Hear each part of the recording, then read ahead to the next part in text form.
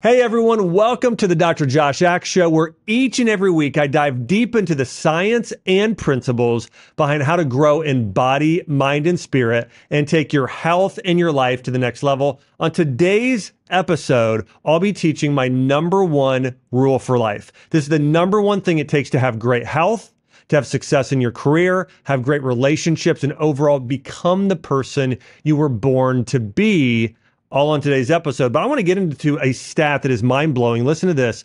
Did you know that a recent study demonstrated that loneliness is worse for your health than smoking 15 cigarettes a day? And on today's episode, I'll be diving deep into how to create an inner circle in a community that's iron sharpens iron and allows you to become the best version of yourself. And this is something that so many people are missing today. And by the way, this is cr- incredibly important for your physical health as well. Again, along with being successful in every area of life. Hey, before I dive into the content though, make sure to subscribe to this channel and hit the notification bell so you never miss an episode. I also want to mention, hey, every time you subscribe and help share this podcast, you're actually allowing me to make the show better, bring on higher profile guests, with more wisdom and allowing me to do more and more episodes. So, again, thanks so much for subscribing and thanks so much for sharing this as well. Hi, Dr. Josh Axe here, and I just released my latest book, Think This, Not That. This book tackles the 12 mental barriers that obstruct your personal growth and hinder your success in so many areas of life. Each chapter explores one of these barriers with helpful visuals and practical exercises that you can use to peel back the layers of the false narratives that have held you captive and finally experience the transformation that comes from thinking this not that. You can order a copy at joshaxe.com. And if you order before April 2nd, you'll get an exclusive to my three part mindset masterclass, also a 12 week workbook, also numerous other bonuses that are worth hundreds of dollars to help you think this, not that, and experience that breakthrough you've been waiting for. Here's another mind blowing statistic and why what I'm going to talk about today is my number one lesson for life.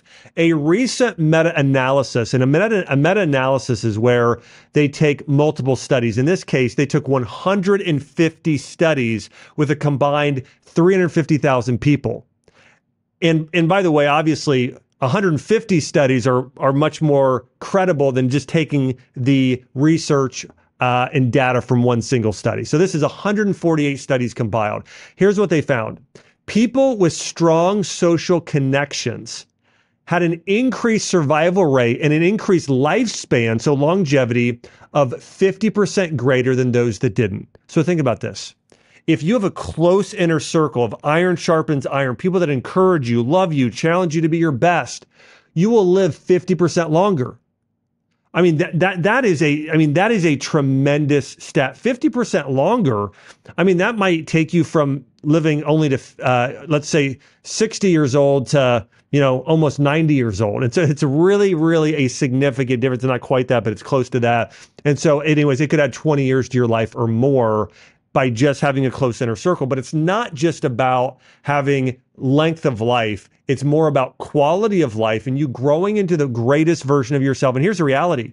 You cannot grow into the greatest version of yourself, your best you, and run your be- your your best race and live your best life if you don't have incredible people in your inner circle.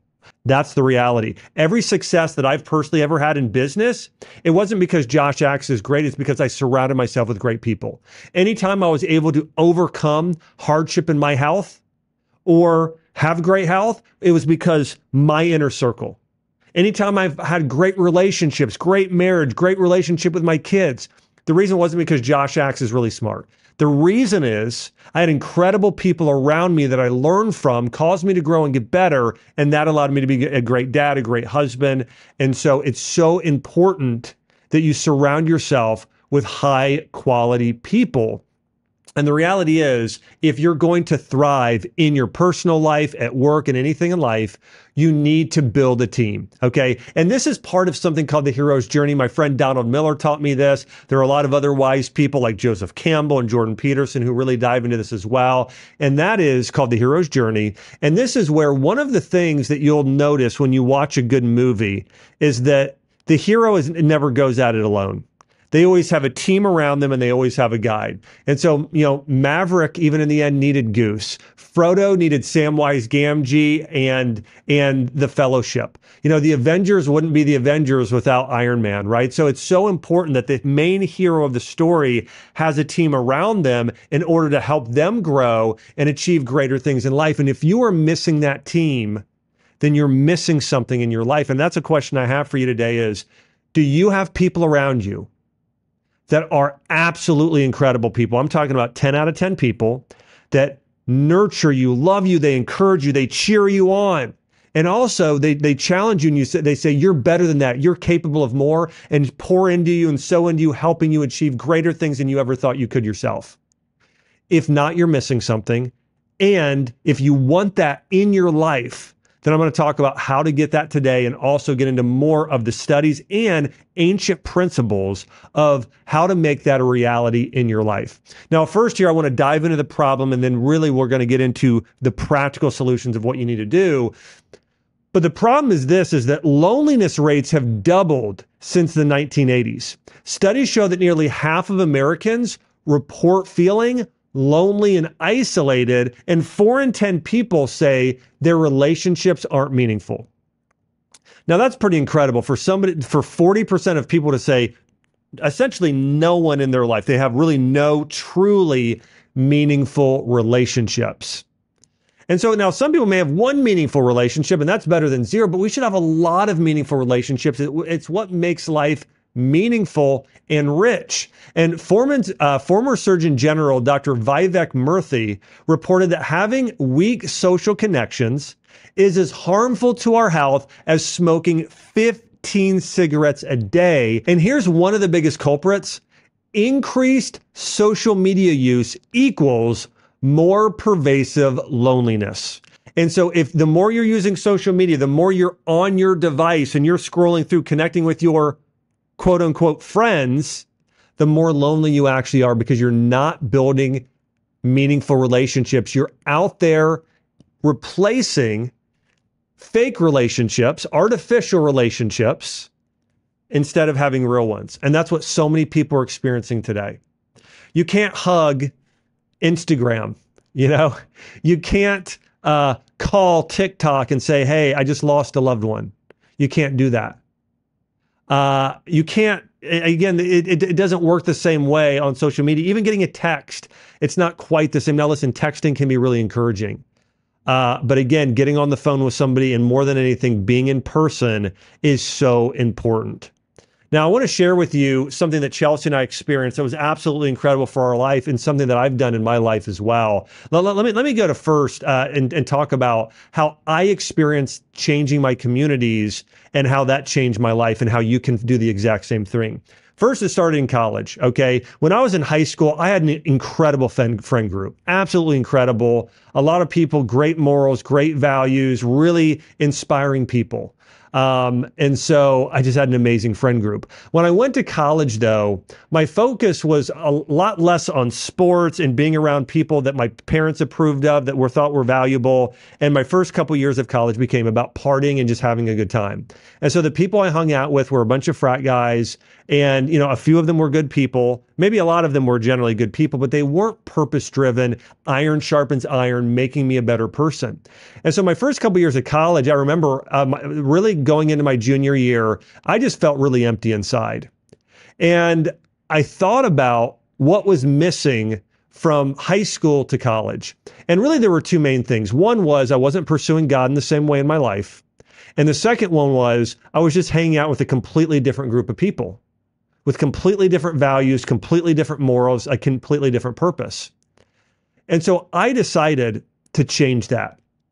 I decided to stop going out and just drinking a lot and instead and, and partying and just saying i'm just going for life for pleasure and i went for purpose. So i went from focusing on just having pleasure to focusing fully on having purpose. And i changed my friend group. Now here's what happened at the time. I had a couple guys i was living with that were part of the pleasure group and i ended up uh, here, not not going out with them hardly. On occasion, they would say, "Josh, come out with us," and I would go out maybe on occasion, and maybe I would have like one drink or not drink at all. And so, and here's what they started saying to me: They said, "We want the fun Josh back," and you know.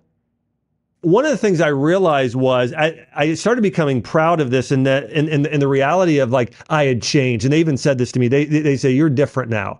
And I said, I am. And so I really, though, started, I, st- I went to a church group, started hanging out with a group of, of, of people that were just amazing people, purpose driven, going on mission trips, looking at serving the community.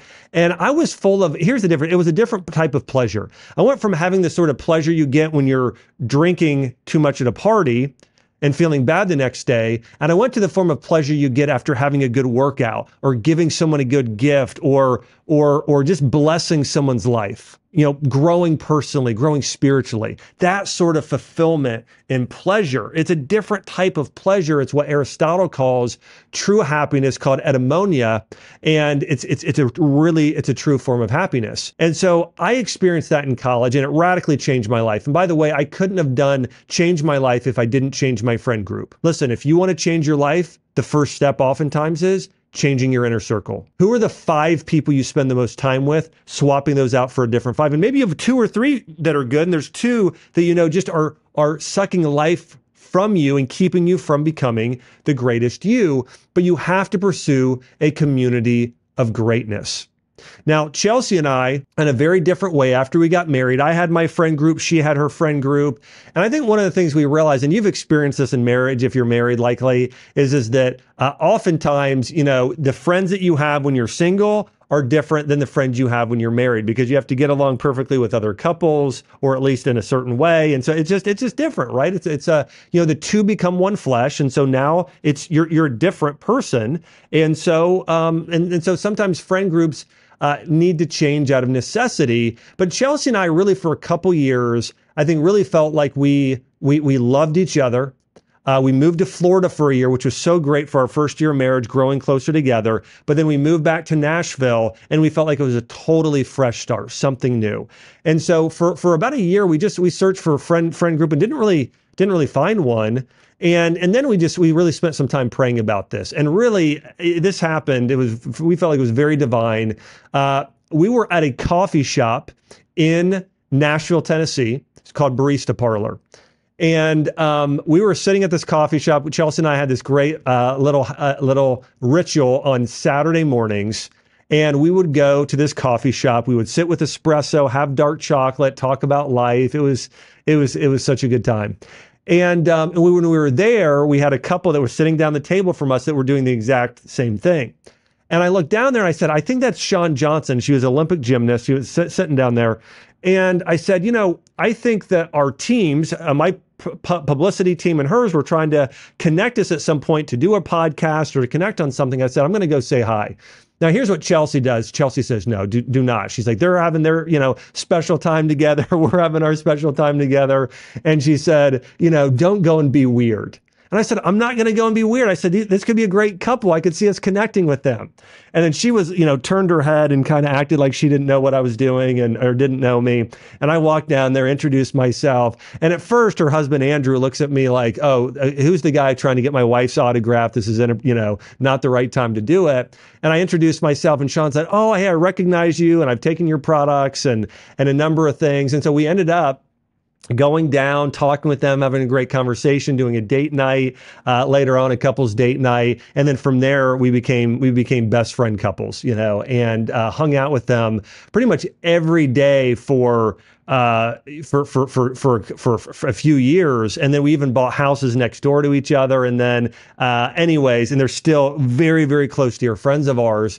But the reason that we connected with them so well and why I pursued a relationship with them, listen, I believe pursuing strong relationships with individuals or other couples is a lot like dating uh, or a lot like pursuing a marriage. It's you, you, you know, you, you don't just have relationships that fall into your lap and those are the only relationships you have those relationships out of utility now listen those relationships can be necessary and good but I think that you should find relationships and pursue people that really are going to be iron sharpens iron, where you share the same values and you help each other grow and support each other along the way. And that's really what I saw in Shawn and Andrew. We pursued a relationship together, became very close. And one of the things I admired about them is, you know, Shawn was an Olympic gymnast, Andrew was a NFL, uh, played in the NFL. And they were both very competitive, very all about commitment, like being the best. And Chelsea and I share that. So they caused us to grow in that. We at one point uh, on Saturdays and Sundays would do a workout in the morning and then go do brunch afterwards at a True Food Kitchen or Urban Market or another favorite place of ours in Nashville. Uh, we had our daughters around a similar time. Uh, they had Drew. We, we had Arwen. And anyways, became a very, very close friends of ours. All that to being said, you need a Shawn and Andrew in your life. It's so important that you have other couples and other individuals that make you grow. And if you don't have those people, write down what the qualities are and the sort of friends that you're looking for. And you want to do this when you if you're trying to find a spouse as well. When I thought about who was the woman I wanted to marry, I started writing it down. By the way, the things I wrote down about Chelsea were I wrote down I want a woman who is mentally stimulating, physically breathtaking, spiritually on fire for God, and that makes me grow. That's iron sharpens iron. Those are really the four things I wrote down. And then I had other things as well, like the water, because growing up we loved water skiing, a number of other things. So I wrote down all those things like like she's generous, she's kind, she'll be a great mom, all those things. I wrote those down. Um, and then what I did after I wrote those down is I thought about who do I need to become in order to be the sort of husband that would attract that sort of woman into my life. Okay, I need to be a leader. I need to be wise. I need to be generous. Uh, I need to hold the door open for her. I need to do all of these things. I need to be complimentary. I need to be her protector. I wrote down those things. And you want to pursue your relationships with other people in the same way. If you want to build great relationships, you need to not be a narcissist. You need to make sure that you make it about them, that you are engaging in conversations, asking them deep questions, that you are supporting them in their life. So you need to be a great friend to them. You need to be the sort of person that they'd want to leave their kids with because you're such an incredible, uh, you know, parent in that way. And so I would encourage you to do that. If you don't have a spouse, do that exercise both what their qualities are and what yours need to be, and you start working on yourself. And the very same thing in those friendships. Know this life is better with people that make you better. Now, I want to share with you an interesting uh, an interesting study, and this is a, was a you know this was not a double blind placebo study. This is a study done on animals. And you may or may not know this, but did you know that one working horse can pull a load of 6,000 pounds? Okay. And you would think if one working horse can pull 6,000 pounds, then two horses can pull 12,000 pounds. But that's not true. Here's what's true two working horses can actually pull 18,000 pounds or three times the load of one horse. Here's something I've experienced in life partnership does not double your success, it multiplies it. You know, when I uh, created a friendship with Jordan Rubin and I again pursued him as a friend. Uh, I didn't know that eventually it would lead to. I was in a clinic that was doing a million dollars a year in my clinic. Okay. And, and my, my goal, by the way, is never money. I'm just sharing the number to give you an example. My goal was always to bless people, love people, and help them heal from disease, reverse their disease. And use, you know, so that, that was the, the primary goal. But, but I, but I, I, in business, when I partnered with Jordan Rubin, was able to do things that I never imagined I could do. I built a business that wasn't a million, that was over a hundred million. I didn't own. I want. I eventually. I, I at one point in my life said it'd be great to have like four or five acres of land. I own with Jordan Rubin four thousand acres of land where we practice regenerative agriculture. All that being said, when you have the right partners in your life, everything from your spouse to this inner circle friend group to the people you have in business, it can not just double, it can multiply your life in so many ways. And this is why you need to be so conscious about who you're doing life with. Same thing, if you ever go into business with a partner, you need to make sure their values and integrity are impeccable. You need to make sure that they're trustworthy, hardworking, and that you are that you're the same for them. And if you do that, you can accomplish far more together than you would on your own. Far more. I want to get into another study here that I think really proves my point here. According to psychological scientists at Duke University, one of the most effective ways to stay on track and reach your goals, including your health goals, is to, is to surround yourself with people who are more disciplined than you are. You may lack self control, but being around people who excel in this virtue of self control and self discipline will make you more self controlled and more self disciplined. You become who you surround yourself with. That again, that, that is my number one rule for life. You become who you surround yourself with. And so be very, very conscious of that. So listen, if you want to be healthy, hang out with healthy people.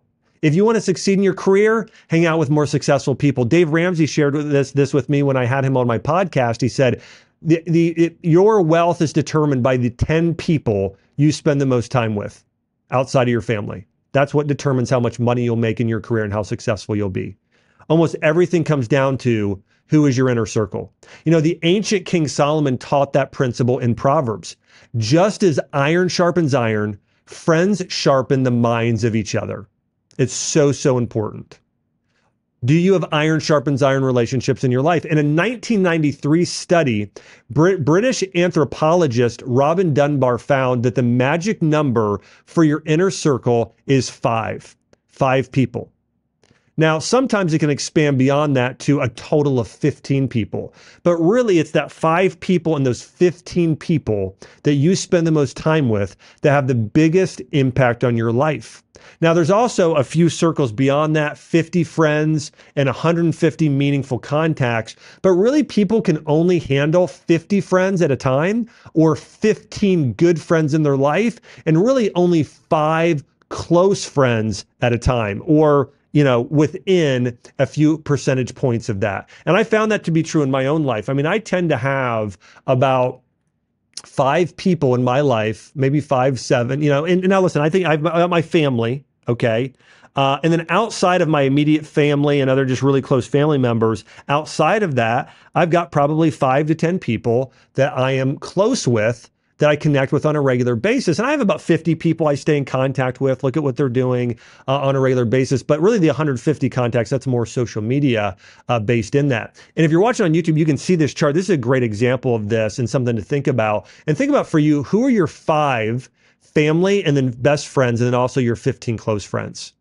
I want you to write those down right now. I want you to write down and think about who are your five, you know, you have your family, but outside of your family, who are your five to 10 close friends? Now, here's the thing that really hurts my heart.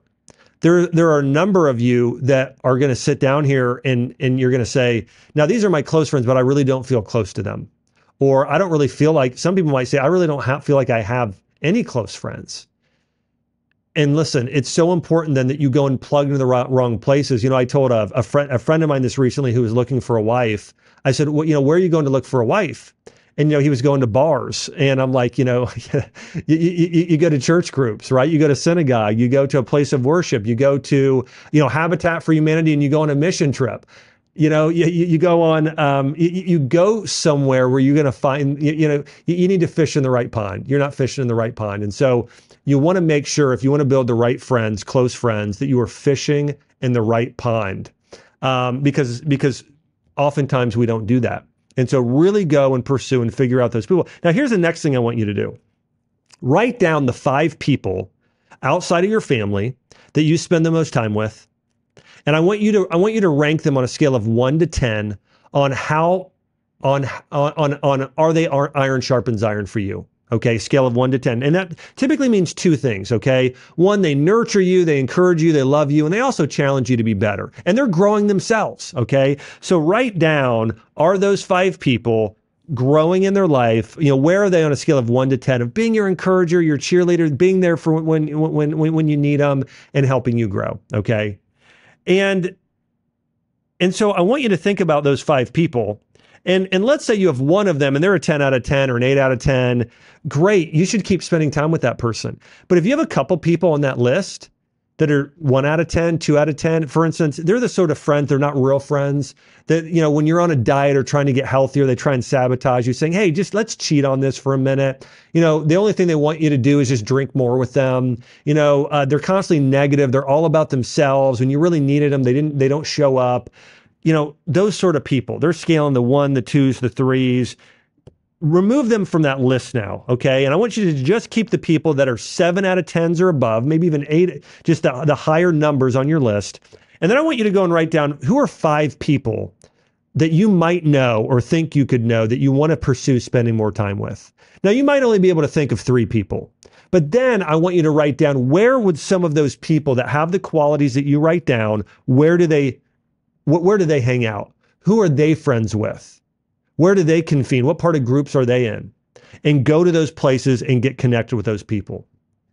You know, we spend so much time wasting time on social media scrolling, watching Netflix and streaming services, just wasting time. When one of the greatest things we could ever do with our time is pursue meaningful friendships because nothing will magnify and multiply your life more than having a close inner circle of powerful friends that are there for that, that are there when you need them. You know, uh, I want to share an expert insight here. One of the uh, wisest people that have ever lived. In fact, I would say he's one of the 10 most influential people of all time, if not the five most influential people of all time. And his name is Aristotle. And here's how he divided up friendships. He said there's really three type of friendships you're going to have. One based on utility, so that's that's sort of the, the, the practical relationships, pleasure, and purpose. So practical pleasure, purpose, or utility, pleasure, and virtue. So number one, a friendship of utility is one in where a, a benefit is shared. So for instance, like my parents growing up were friends with some of my uh, my friends from high school, their parents, because uh, we were all on the soccer team together, right? So we would carpool, support each other in that. And so those are really friendships, most of them of utility. And those are great friendships. We need to have those in our life. You know, we're there to help and serve each other. So that, that's a great friendship utility. The second friendship is a friendship of pleasure. It's one in which both parties get fun out of it. Okay. You know, th- these are the friends to where, you know, you just, you laugh with, you share a good time with. Now, I think there are different types of pleasure. There are friends of like this that are where it's, it's pleasure that it's going to hurt you tomorrow. And the, again, drinking too much. And there's the pleasure of, hey, we really had fun together. It was good, harmless fun. Our kids got along together and, and, and, we had a good time playing game, board games, that sort of thing, or whatever it might be. And, and that's a great type of friendship too. But by far the most powerful form of friendship you want to pursue is called a, a friendship of virtue or a friendship of purpose. And it's one that's based on shared values, purpose, and a deep respect for each other's standards and goals in life. So these are friends where they will your good. They want you to win just as much as you want you to win. And so I'll give you an example of this. Like I, have had friends who we, we recently had a loss in the family, and it's been so hard. And I have a friend of mine, Dan, and he's he he's texted me four or five times. He's called me twice. How can I serve you? Even if I tell him he can't, He'll find a way to do it. He'll send flowers to the funeral. He'll show up. He'll do everything you can think of. And that's the sort of friend you want in your life.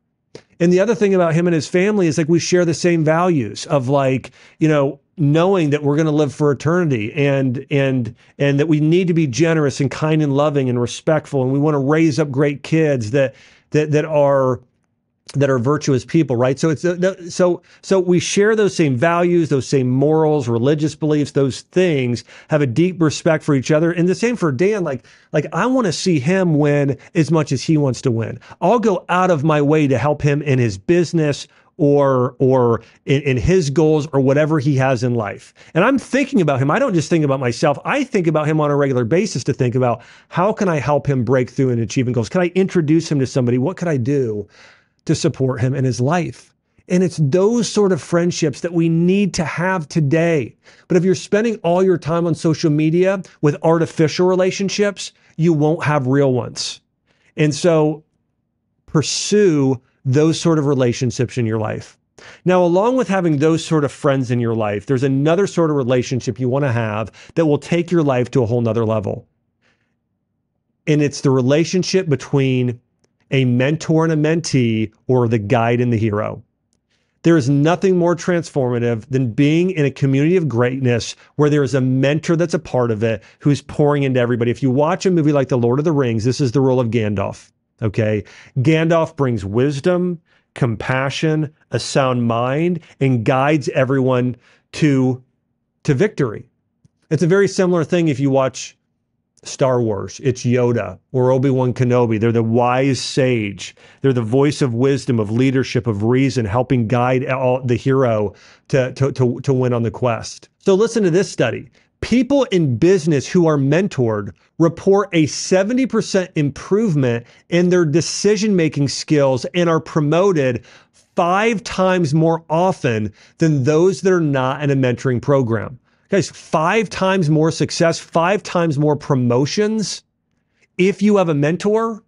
If you don't have a mentor in business, you're missing out. If you don't have a spiritual mentor in your life, you're missing out. If you don't have a mentor in relationships and marriage and being a parent, you're missing out. So here's what you need to do to find mentors.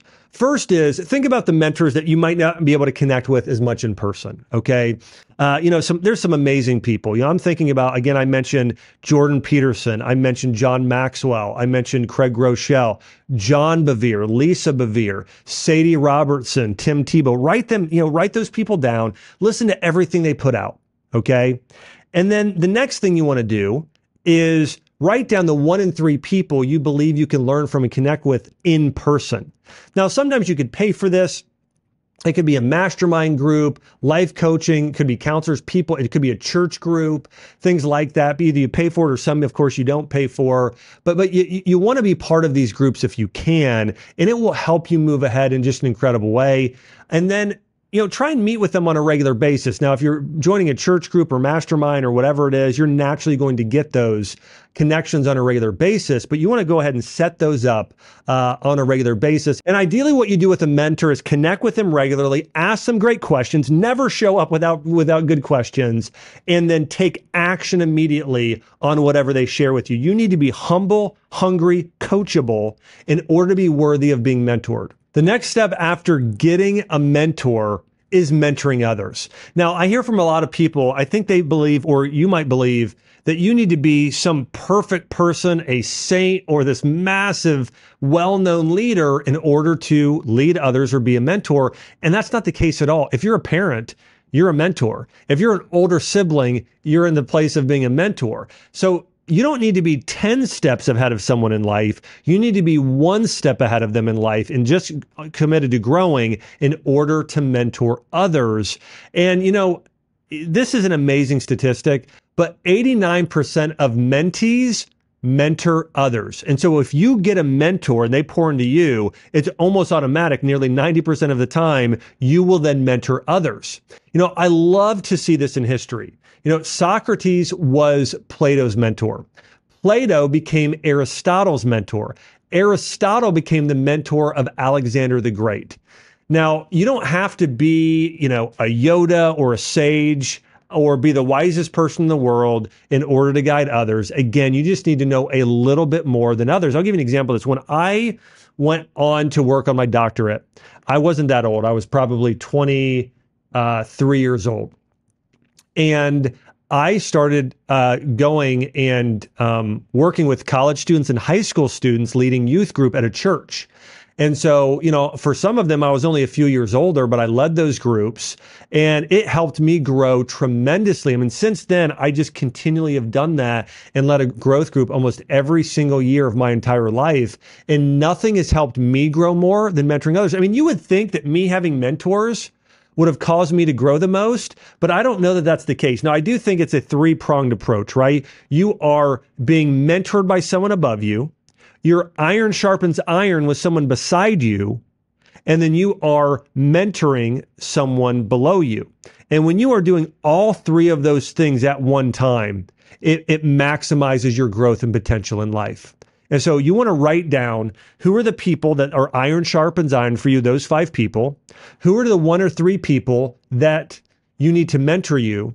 And then who are those people that you have an opportunity to mentor? And if you can do that, you'll maximize your life, probably doing that more than anything else you could ever do in your life. You know, I do this in a men's group I have. I started a men's group and I've been doing that now. This is our sixth or seventh year. And I have an unbelievable group of guys. And what I did when I was putting this together, I said, okay, I want guys that share my same values guys that are here's the most important one.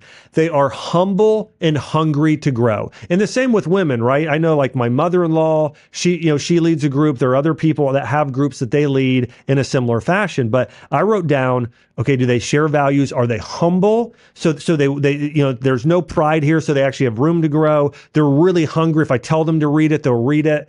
Um, and and then and then I also wrote down for this group in particular, I said, okay, I want them to have uh, I want them to possibly be entrepreneurs or influential in business because that's the sort of impact I wanted to have them have. They needed to have sim- similar spiritual beliefs and those sort of things. And I invited guys in the group. Well, we're on our seventh year now, and, and we, we've kind of phased through a few guys over the years, but we still have mostly the same core group and um, and really it's just amazing iron sharpens iron. I mean, the guys in this group, a few of them, Dan Sullivan, Colt Morton, Isaac Meek, Andrew East, like Isaac Meek. I just I want to share a few things about these guys in my group. Isaac Meek started Five Daughters Bakery. By the way, if you're ever in Nashville, he, they, they do paleo donuts. Uh, they, they, they're made with honey and I think cassava flour and almond flour. They're the best things you'll ever have in your life. Okay. But he started this amazing business, has locations starting now all over the country, and he has five daughters. Of course, that's why it's called Five Daughters Bakery. And he's one of the most amazing dads I've ever seen in my life. So, I mean, I learned from him, even though in, in this group constantly, and he's he's a close friend of mine, but he's in the group. I've got Andrew East. I mean, he brings this thing of just tenacity and commitment. Uh, you know, being a former NFL athlete, and just being an amazing uh, person building this amazing media company with his wife, Shawn. I've got Colt Morton. He's the president and CEO of Ancient Nutrition. He was a former uh, Major League Baseball player for the San Diego Padres, just 10 out of 10, just amazing person. And then again, Dan Sullivan, I mentioned him earlier, just an amazing guy. He's a, lead, a doctor, a leader, a coach, amazing family, and his three daughters, one of the best dads I've ever seen. And so these are guys that I just, we, we what we do is we get together once a month for three hours to talk and train, typically from like uh, two to five or or from three to six, and then we'll do dinner afterwards, and we do that once a month. And now we talk and hang out outside of that a lot, but once a month we read a book together or go through a podcast series together. And we get and we basically uh, i'll share for maybe 10, 10 minutes at the beginning. Everyone will share their biggest takeaways from the book and then we might go around and share something we're going to take action on. And on occasion, we don't do this every time, but sometimes we'll do prayer requests or something like that. Or, and we do different exercises as well. Sometimes we'll create a vision board or we'll do, you know, have to take our spouse on a date and say the 10 things we love about them most, create a family plan, goal setting, all kinds of things.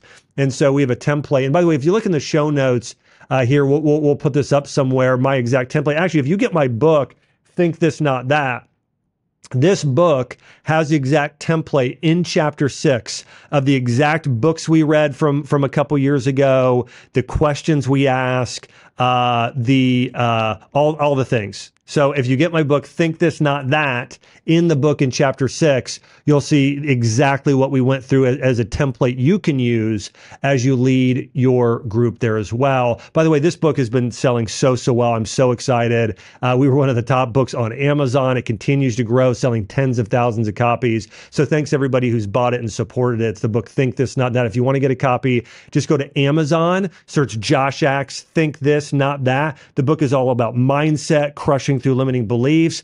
And what you've been listening to, this is part of a podcast series. I think we're on number five now or six. And so if you go and you, you can watch all of these in the thumbnails, you click, if you're watching on YouTube and listen to those, or if you're listening on iTunes or Spotify, you can also um, listen to the whole series here on on think this not that and um, and overcoming these uh, overcoming limiting beliefs all right I, I wanted to show you here as an example if you're watching on youtube look at the benefits of the learning retention rates based on uh, these different actions if you sit in a lecture you're going to remember the information about five, about 5% of the information. If you read it, you'll keep about 10%. If you do an audio visual together, like a YouTube, like you're like let's say you're watching on YouTube now and you're doing audio visual together, you'll typically remember 20%. If you demonstrate something or watch a demonstration, uh, you'll it's about I'm sorry, if you watch a demonstration, it's about 30%.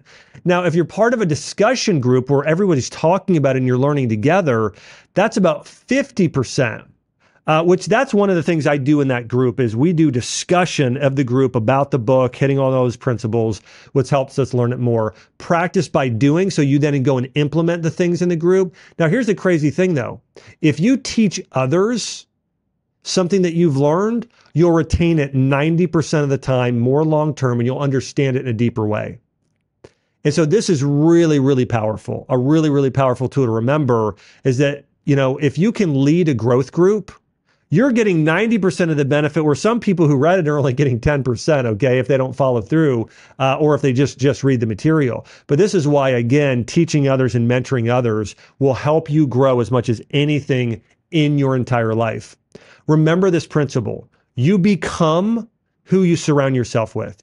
You become the five people you spend the most time with. I mean it is the number one determining factor of your success in life is the people you spend time with. So be conscious of it. Pursue the right type of people. And we can only become who we were meant to be in the greatest version of ourselves when we create a dream team of people, a purpose driven community uh, that we are committed to growing with. I mean, this is important for families as well. You know, Chelsea and I really practice hanging out with other couples that have great kids so our daughters can grow up to be great kids. You know, and, and if you really want to listen, everything from overcome failure to uh, have more self discipline to, again, having a breakthrough in your life, you need to intentionally build community. So, going back to the top five people in your life, the people that should be in your inner circle, ask these questions about them. What kind of impact do they currently have on your life? Number two, do they encourage you to work out or go for the big dream or goal even when you don't feel like it? Are they merely a sounding board for your problems, or do they actually help you come to a good solution, support you in overcoming your troubles? And also, can you rely on them when the going gets tough? And can you always re- rely on them to do the right thing uh, and, and tell you to do the right thing, even when you don't agree with it? So they're telling you those, those tough things in life and challenging you in that way. The reality is this the community you choose will either push you forward in life or hold you back. Imagine what your life could look like if you were surrounded by people who were purpose driven, who pushed you to be your best. How much more would you improve? How much more would you accomplish? Who could you become if you surrounded yourself with a community of greatness? Remember this principle. Think this. Life is better with people who help you grow. Don't think this. Life is better solo and on your own. In my new book, remember this Think This, Not That, you're going to find specific ways you can build a community of greatness. Again, in chapter six, you'll learn all about that in detail. And there are so many other great chapters. We're getting so much feedback. So make sure you check out more on my Instagram channel at Dr. Josh Axe. Also, hey, if you, by the way, if you go and buy a copy of the book today, if you buy it on Amazon, you'll get a code. If you then go to joshaxe.com, you will get $500 worth of free bonuses. You'll get a free workbook.